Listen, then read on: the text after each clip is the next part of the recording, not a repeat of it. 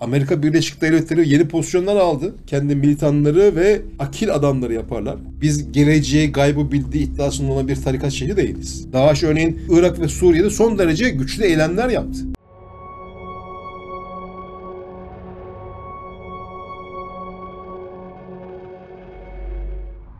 salgının Doğu Akdeniz'deki Libya e, Libya'daki mücadelede, İdlib'deki mücadelede, İran kuzeyindeki mücadelede sahaya etkisi ne oldu? Şimdi salgın özellikle terör örgütleri üzerinde eee, bir rahatlamaya sebebiyet verdi. Özellikle eee, Ama özür dilerim rahatlama dediniz.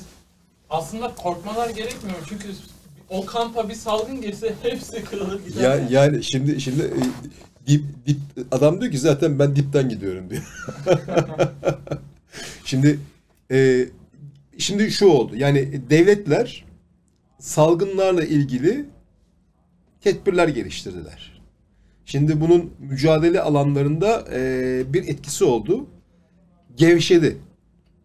Nerede gevşedi? Örnek vereyim. Amerikalılar bir çağrı yaptılar yakın zamanda. Bilmiyorum ta yakalayabildiniz mi? salgın sırasında mücadele alanları terk eden Avrupa Avrupa Birliği'nin orduları lütfen geriye dönsünler. Bak bakın çok önemli bir şey. Örneğin yani belki Türkiye bunu çok bilmiyor. Örneğin Fransız e, özür dilerim. E, İtalyanlarla Almanlar arasındaki nöbet değişiminde gelmedi Almanlar. Hava hava gücüyle ilgili. Şimdi pek çok misyonları vardı Avrupa'da.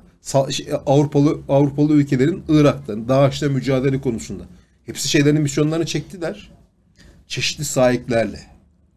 Amerika Birleşik Devletleri yeni pozisyonlar aldı. Salgın güncesinde. Yani örneğin ne yaptı? İşte e, üstlerime saldırıyorlar gerekçesiyle e, işte Irak'taki üslerini boşalttı ve belli başlı üslere toplandı. İşte aynen Esad'la işte e, Erbil'le vesaire.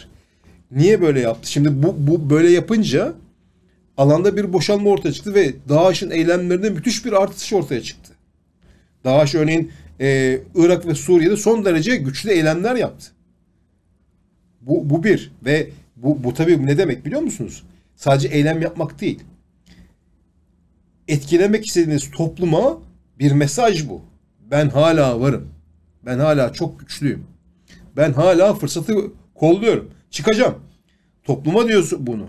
Ve istikrarsızlığın oluşmuş olduğu bir alanda bunu yaparak kendisini ispat ediyor. Ben varım diyor. Şimdi bunu bunu bunu yaptı. O kadar çok eylem yaptı ki şey sırasında. Belki küçük küçüktü. Bu son 4 ay içerisinde. Tabii tabii. Ya bak, Musul'da, Selahattin'de, Kerkük'te, Diyala'da ve Ambar, Ambar'da son derece güçlü eylemler yaptı.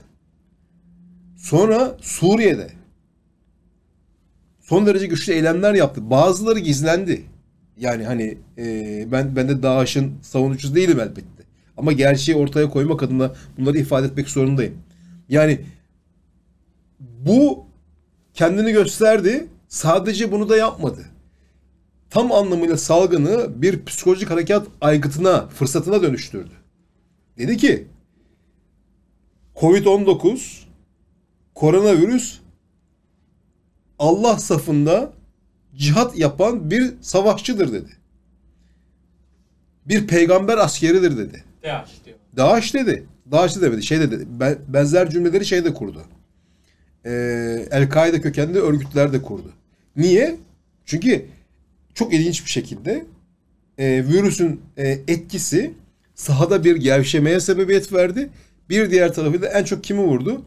Ulaşılamaz, erişilemez, e, etki üretilemez denilen coğrafyalardaki ülkeleri vurdu.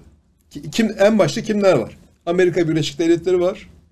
Arkasından İngiltere geliyor. Arkasından İtalya geliyor, Fransa geliyor ve İspanya geliyor. Yani ilk sırada bu ülkeler var. Şimdi bu DAEŞ'in sözde cihat yaptığını söylediği ülkeler. Yani şimdi bunu kullandı. Bir başka boyutu var. Örneğin eee, yumuşak ellerini göstermek için kullandılar. Yani ör- bunlar birer, birer silahlı örgüt biliyorsunuz. Evet. Topluma yardım ettiler. İlginç bir şekilde. Yerel halk ama. Tabii yerel halkı. Ya etki altında bulunan insanlara onların devlet ulaşamıyor. Bunu aynı şekilde Brezilya'da, Avrupa'da mafya da yaptı. Yani kendilerini insani göstermek için, meşrulaştırmak için, kendilerine bir sempati ve destek yaratmak için salgını fırsat olarak kullandılar. Escobar'ın zamanında. Tabii tabii yani çok, ya hayır başka bir tarafıyla Brezilya devleti resmen pes etti mafya karşısında. Dedi o şehirlerde, o mahallelerde kabul etmek zorundayız dedi. İrade ve yönetim mafyanın elinde dedi. Ve dedi mafya ile anlaşmak zorundayız dedi. Çok ilginç, çok şaşırtıcı. Yani bir devlet iradesine salgın bu cümleyi kurdurdu. Bu anlamda son derece önemlidir. Yani kavramsal anlamda yeni bir parametre oluşuyor. Devletler mafya ile işbirliği yapıyor. Bakın çok önemlidir. Şimdi şeye gidelim, bizim bölgeye gidelim. Şimdi El-Kaideciler de benzer cümleleri kurdular. Dediler ki e, parçalayacak, ittifakı parçalayacak. Yani salgın son derece güçlü bir takım e, etkileri beraberinde getirdi. Bir diğer tarafıyla e, Taliban aklıma geliyor. E, Hizbullah. Bunlar da açıkçası toplumu etkilemek adına etki ürettikleri alanlarda salgın salgın güçleri yettiğince kabiliyetlerince hatta çok komik sahneler de ortaya çıktı. Hatta e, hani bizde bir takım salgınla ilgili cihazlar kullanılıyor ya. Örneğin şeyle ilgili yakalamıştım. E, Taliban böyle bir cihazı e, işte birkaç tane eski plastik parçayı e, monte, montelemiş üzerine bir tane va- pervane takmış vantilatör gibi falan de işte bunu salgınla mücadele aygıtına dönüştürmüş insanlara böyle şey tabii etkili oluyor. Niye? Gülmeyin. Niye biliyor musunuz? Çünkü etkilemeye çalıştığı tabanın bilgi birikimi sıfır veya sıfırın birazcık üstünde. Yani onu bir şey zannediyor. Yani işe yaramıyor alet ama o işe yaradığını düşünüyor. Bir, bir psikolojik harp yapıyor onun üzerinde, o alet üzerinde. Böyle şeyler oldu. Yani o e, erişilemez, ulaşılamaz, o fakir insanların yaşamış olduğu coğrafyalarda. Şimdi bir adam bir şey bilmiyor ki. Bir tane bir tane hareketli bir cihaz. E, bunu bir şey zannediyor. Bunu bile salgında kendi menfaatleri doğrusunda kullandılar. Onu anlatmaya Peki çalışıyorum. önümüzdeki süreçte bu demek oluyor ki e, dengeler değişti sahada. Kısmen de olsa. Yani şu, şu olacak. Şimdi tabii e, biz e, bir e, komplocu değiliz. E, biz bir e, fütürist değiliz.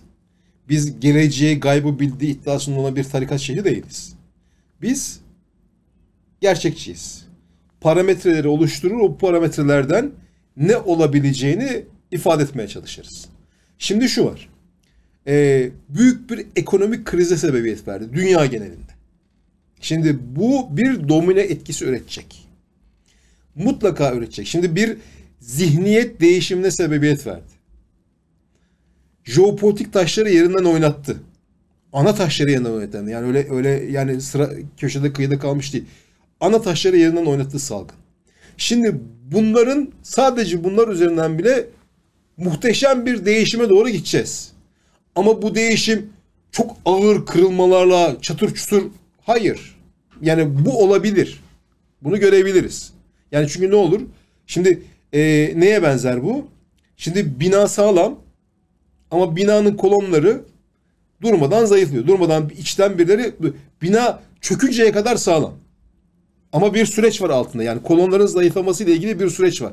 Bir gün çatır çutur bir binanın göçtüğüne tanık olabiliriz. Yani bunu anlatmaya çalışıyorum. Yani ama bir, bir anda salgın bir anda bütün binayı aldı, kaldırdı, attı bir deprem gibi, bir işte, tsunami gibi, bir hortum gibi, bir ne bileyim ee, heyelan gibi. Hayır. Ama salgın bence ben yani beni, korkunçtu. Sal, kitabı yazarken salgınlarla ilgili tarihi okudum. Hatta bir e, parametre oluşturulsun için bir kısmını aldığım kitaba koydum. Salgınlar insanlık tarihine yön veren bence ilahi bir aygıt. Bakın çok önemli. Yani dizayn etmiş Allah salgınlar üzerinden. Şimdi bununla ilgili çok farklı şeyler, cümleler kurabilirsiniz.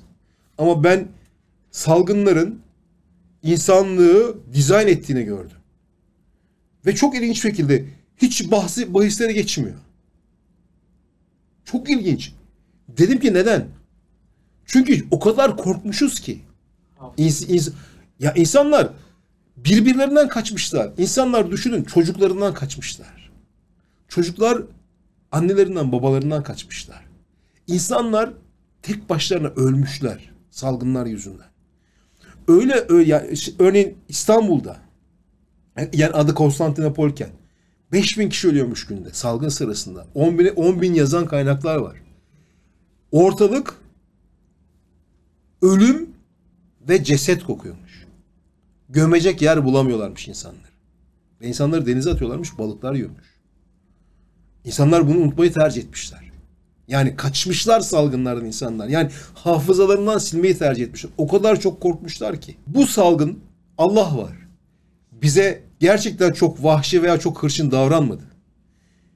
Düşünmemiz için, fırsat üretmemiz için, çözüm üretmemiz için bize bir olanak sunuyor.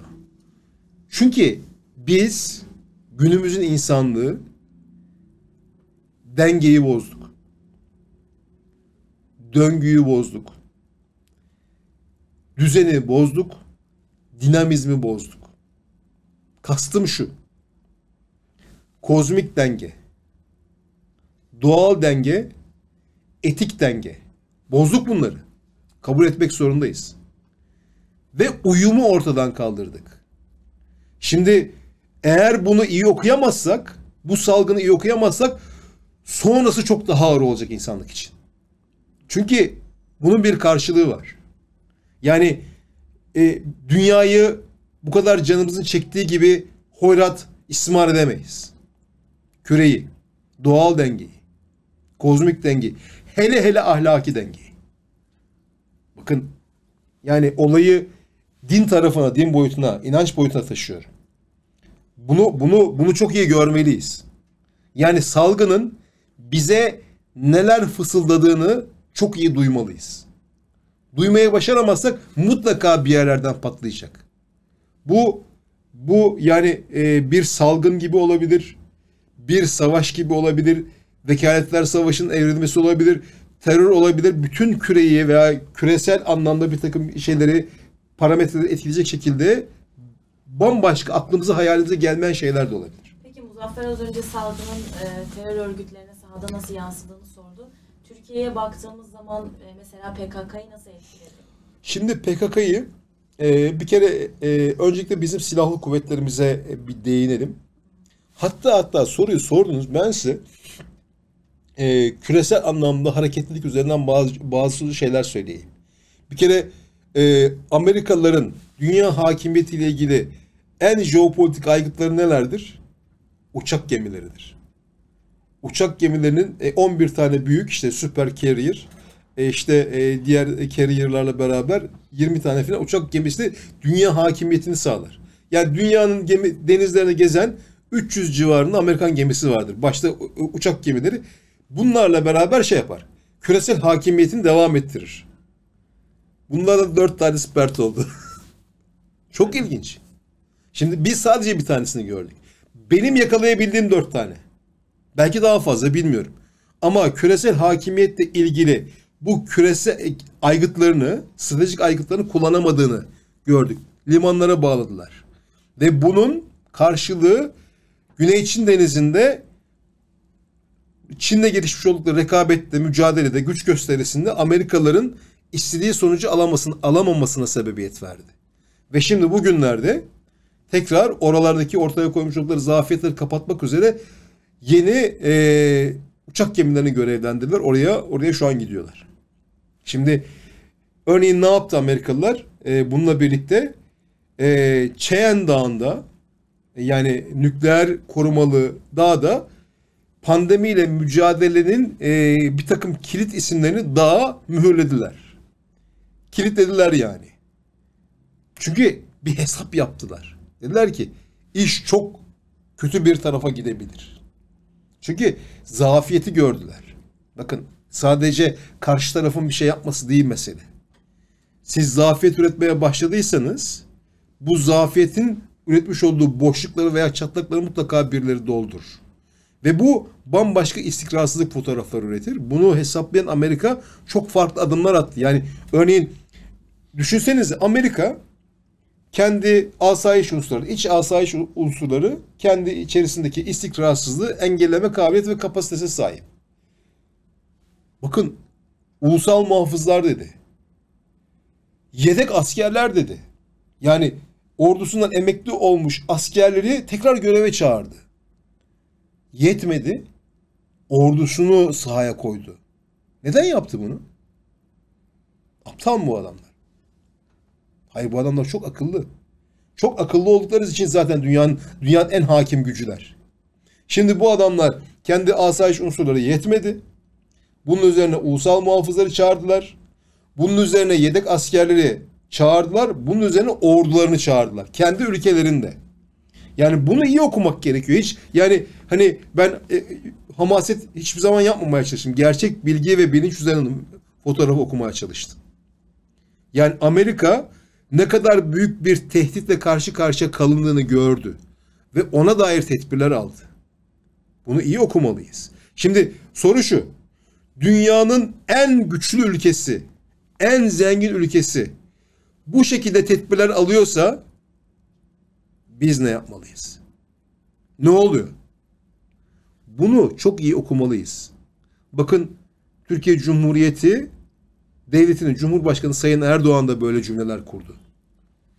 Dedi ki hiçbir şey eskisi gibi olmayacak. Başta jeopolitik taşlar. Yerinden oynayınca artık bundan sonra o taşlar yerine oturuncaya kadar harala gürele her yerde bir şeyler yaşanacak. Belki biz bunu salgınla ilişkilendirmeyeceğiz. Ama aslında hep salgınla ilişkili olacak. Bunu anlatmaya Askerlerin çalışıyorum. sahaya bi- bizim bizim Me- Mehmetçikler. Bizim evlatlarımız gerçekten çok ciddi bir performans ürettiler. Hele ki e, mücadele alanlarında olanlar.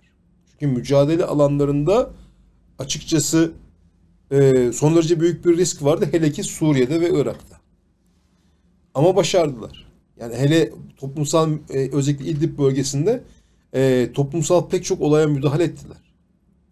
Yani fiziki teması gerektiren sadece fiziki teması değil mücadeleyi gerektiren son derece zor bir uğraşın içerisine girdiler. Şimdi biz burada he- he- hep diyoruz ya ya maske takmak ne kadar zor. Değil mi? Yani çünkü sonuçta kendi üretmiş olduğu karbondioksit kendin soluyorsun filan. O fiziksel bir uğraşın böyle şapır şapır terlediği silahı, mühimmatı, teçhizatı, çelik başlığı, e, sırtında çantası bir güç mücadelesi gelişmiş olduğu ortamda bunları yaptı ve başardı. Şükür Allah hiçbir zafiyet fotoğrafı görmedik. Görebilirdik. Bakın çok önemli. Görebilirdik. Görmedik. Yani bunun hem tedbirini aldı o maske ben işte konuşuyorum işte gö- takip ediyorum falan hep maskeleri yüzlerinde ve yani e, o mücadeleyi verdiler ve açıkçası o mücadele içerisinde karşı karşıya kaldıkları saldırılar da oldu. Şu ana kadar hiç yaşamadığımız eksenden saldırılar geldi. Yani radikallerden saldırılar geldi ve Mehmetçiklerimiz şehit oldu. Yani böyle de bir süreç başladı. Önceden kimle mücadele ediyorduk? Rejim ekseniyle, rejimin ekseninin arkasındaki işte Ruslarla, işte Şii milislerle, şebbihalarla, işte ama şimdi başkalarıyla da mücadele etmeye başladık. Nereye gidecek? Onu konuşmamız lazım. Şimdi salgın döneminde tabii bu terör örgütlerine tıbbi destek lazım. Mesela Türkiye'de PKK'ya e, PKK o tıbbi desteği hangi ülkelerden kendisine bulmuş olabilir? Yani şimdi e, bir kere öncelikle Amerika Birleşik Devletleri gönderdi. Yani hatta e, benim yakalayabildiğim kadarıyla e, 2 milyon dolarlık bir tıbbi destek gitti. Hatta bunu birileri çok farklı şekillerde ifade ettiler. Ben onunla kalmadığını biliyorum.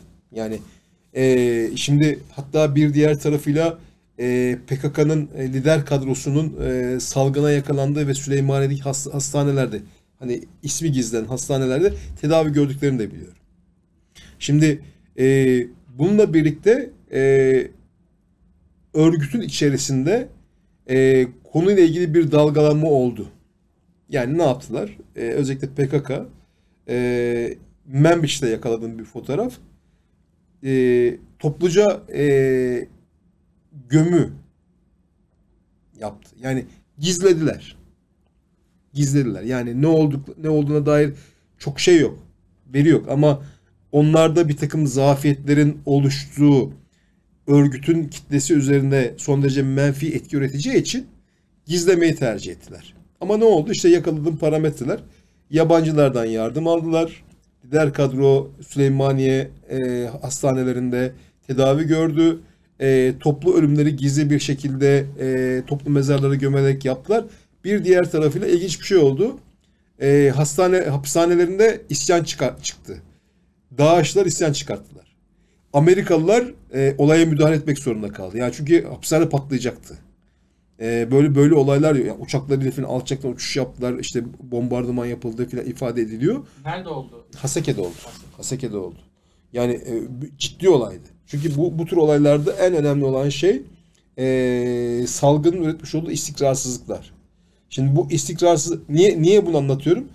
E, ben IŞİD'in doğuşundaki en temel parametre nedir biliyor musunuz? Hapishanelerdir. Ve hapishanelerdeki isyanlardır. Şimdi hapishaneler onlar için bir birer e, e, şeydir, üniversitedir. Orada hapishanedeki adamları e, kendilerini devşirirler. Kendi militanları ve akil adamları yaparlar. Yani hem e, teorisyen hem pratisyen. Hapishanede yetişir. Sonra Ebu Garip ve Taci cezaevleri patladıktan sonra Daesh ortaya çıktı. Yani çünkü orada o dışarıdan bir e, saldırıyla beraber içeriden çıkan isyan e, bin, yani Daesh'lere göre 6000 bin, Irak Güvenlik Kuvvetlerine göre e, 300-400 bana göre 1100. Çünkü ben o zaman işte takip etmiştim.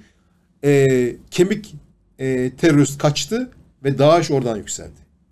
Yani Daesh'in e, etkisi ondan sonra kendisini gösterdi.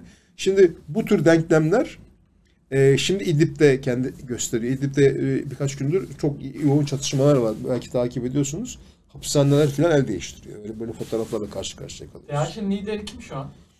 DAEŞ'in lideri Amerikalılar e, 10 milyon dolar başına ödül koydukları e, Türkmen olduğu iddia edilen e, telaferli birisi. Ama ilginç bir şey var. Tenakuz var. Ama ismini bilmiyoruz değil mi? Ben- Bağdadi gibi bir isim. Var var ismi var. İsmi var. İsmini söylerim ben size. Yani şu an yani çok çünkü on- 18 tane falan şey yapacaksın. tamam ya yani e, şimdi e, bir tenakuz var. Onu anlatayım. Ondan ondan sonra meseleye gelelim. Yani Bağdadi. Bağdadi e, bir ilahi misyon kazanılmaya çalışılan ve bunu Hazreti Hasan üzerinden peygamberle bağlayarak uluhiyet, kutsal kişi, dokunulamaz kişi, erişilemez kişi bu çok önemlidir Orta Doğu'da mücadele alanlarında. Yani kutsal kişi. Ona biat çok kolaydır. Ama şimdi ilginç bir şey oldu. E, bir Türkmeni koyduklarını söylüyorlar. Ama ilginç bir şey yaptılar. Türkmeni de bu sefer peygamber soyuna eklemlemeye kalktılar. Yani bu terör örgütlerinin dini ve kan bağını kendi menfaatlerine doğrusu kullanma adına eee, bir son derece çarpıcı bir örnek. Manip ediyor resmen. Yani böyle böyle bir fotoğraf var. Yani şu an DAEŞ'in başındaki kişi eee telaferli bir Türkmen.